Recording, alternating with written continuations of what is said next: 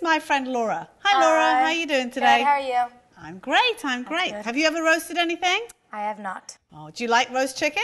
I do. It's very yummy. Great. Well, we are going to learn some roasting techniques today that will work with all meats beef, pork, chicken, lamb, whatever you like to roast. All right, let's pop one in front of us right here. Okay.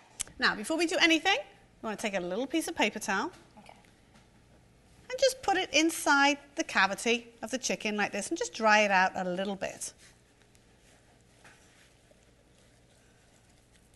Okay? Mhm.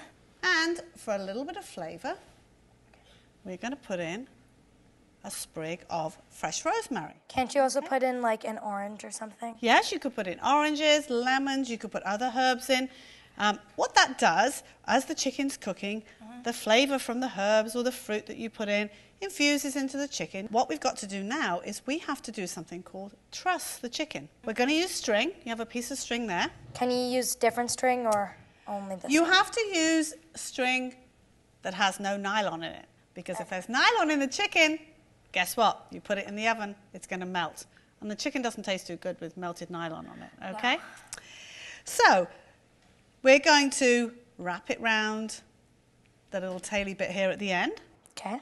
Now, what you want to do, put your fingers on your drumsticks right like that, pull them up towards the chicken, wrap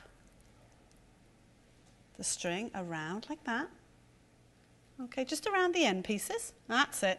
And then you're going to pull it up a little bit like you were pulling on the reins of a horse, Okay. because then it pulls these drumsticks up towards the body to keep them nice and moist. And then we're going to go down between the breast and the drumsticks. All right, flip your chicken over. How you doing? Good. Flip him over like that. Come up here by the wings. We're going to cross the string over like this.